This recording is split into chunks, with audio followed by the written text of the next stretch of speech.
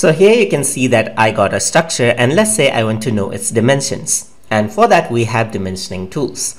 To access the tools, I'm going to go over here onto the left side and as you scroll, you can see that there's dimensioning and engineering. So once I click that, you can see that I got dimensional tools right here. So I have vertical baseline, horizontal baseline, and things like that. I can also know the radius of uh, the things that I want.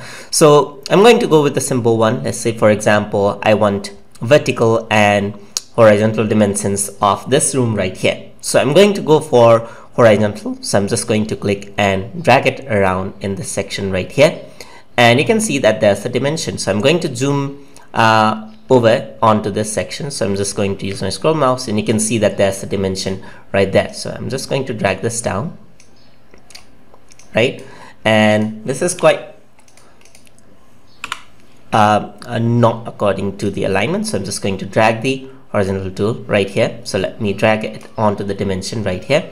And I'm going to increase the size of the dimension over here by clicking on the screen uh, dot right here. So I'm going to drag in the dimension and you can see that this is dimension. That's 7,000 uh, millimeters right there or 7.1 meters right there. There you go. So you can also increase this and it actually comes up with an arrow for the dimension just like that. So this is my horizontal dimension right here. I can also go for a vertical dimension. So I'm just going to drag it around over here.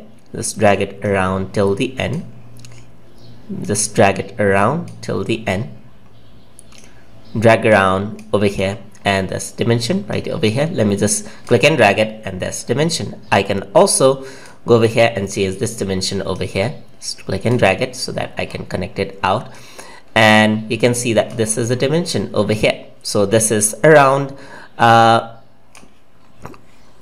let me just click it and drag it around so that it um, snaps into place uh, just like that. And you can see that this is around 11,000 uh, 1100 meter um, millimeter or 11, uh, 11 meters right here. So this is the dimension that I have over here. You can also go for the radius. So you can go for radius outside diameter and so forth. So let me just go for a radius right here. And you can see that the radius in around this point is around 250 right here. It's 250 meter right here. I can also go over here change around the point. So let's say let's calculate the radius of this door point right here. So let me just drag it drag this out click and drag over here. So let me uh, measure the door.